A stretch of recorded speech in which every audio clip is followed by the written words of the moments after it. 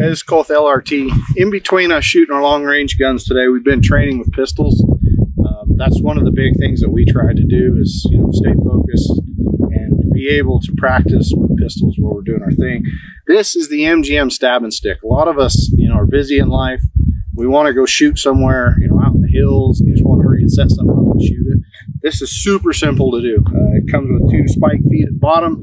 You just jump it uh, or you ram it into the ground. You've got headshots, body shots. It's all AR 500, so you're not going to punch through it with 556 pistol stuff. It's awesome to have.